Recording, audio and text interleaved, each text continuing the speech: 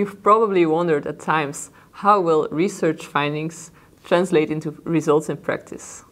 As consensus statements conclude that exercise therapy is the intervention of choice for patellofemoral pain with the largest body of evidence supporting its use to improve pain and function, this study aimed to evaluate its effectiveness in clinical practice.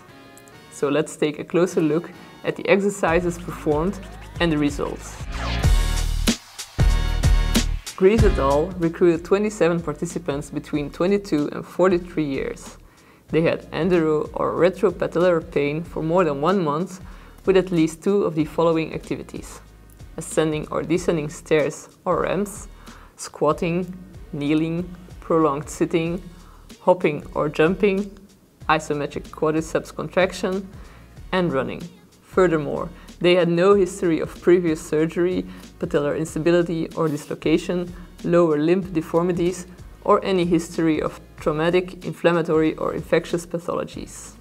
The outcome measures included biomechanical analysis, isometric, eccentric, and concentric strength measurements, and the arthrogenic muscle inhibition was assessed as well. The numeric pain rating scale to assess pain, COAST questionnaire to assess pain and function, the Kujala score to assess function, and the Tampa scale for kinesiophobia were filled in at baseline and evaluated after the six-week exercise program. The evidence-based exercise program consisted of following exercises.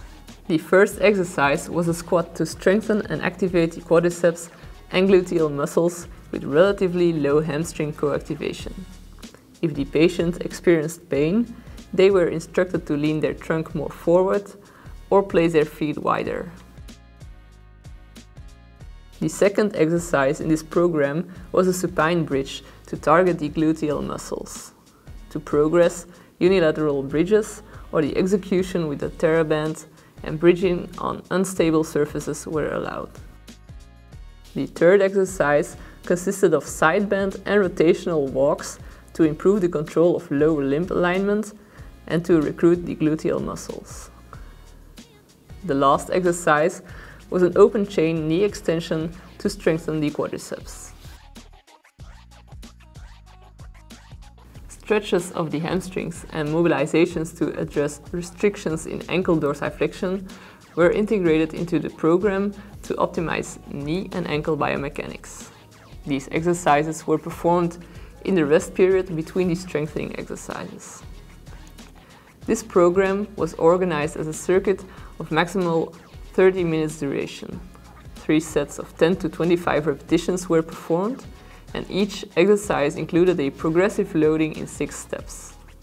The participants were instructed to progress individually for each exercise. They could enter a higher progression stage if they did not experience any pain and if they felt only light or no exertion. Despite the absence of a sample size calculation that was performed beforehand, and despite the inclusion of few subjects and considerable dropouts, the exercise program reduced pain on COAST questionnaire by 13 points, improved function on the Kujala score by 10 points, and on the COAST by 16 points, with large effect sizes.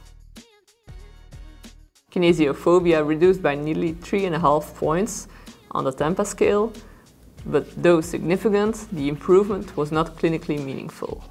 No changes were seen on pain, assessed with a numeric pain rating scale, yet baseline pain scores were very low, and there was thus only little room for improvement.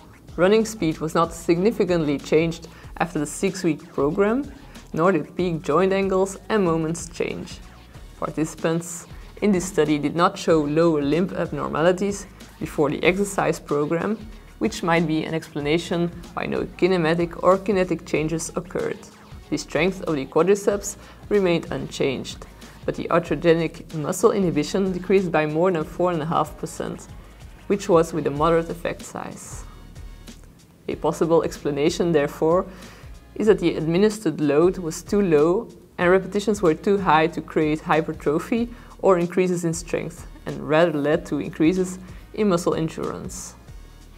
Another possible explanation might be that neuromuscular control improved, since the program lasted for only six weeks, which may have been too short for increases in muscle strength to occur.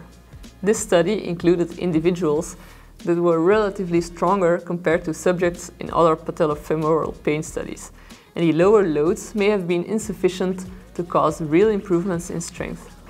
However, by including low loads and high repetitions, the program tried to avoid including heavy, possible pain-provoking exercises to prevent the flare-up of symptoms.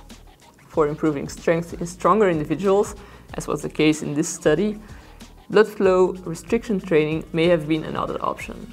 Summing up, a six-week exercise program consisting of just four exercises, which were progressed individually, was able to show clinically meaningful improvements on pain, function and arthrogenic muscle inhibition. This is a perfect example of the KISS principle. So keep it simple, stupid.